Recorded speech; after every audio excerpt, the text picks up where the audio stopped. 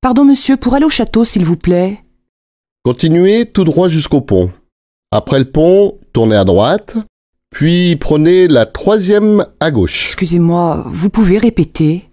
Après le pont, tournez à droite et prenez la troisième route à gauche. D'accord. Après, ne traversez pas le village. Tournez avant, c'est là. Je ne comprends pas bien. Il faut tourner à droite ou à gauche? À gauche. Merci beaucoup.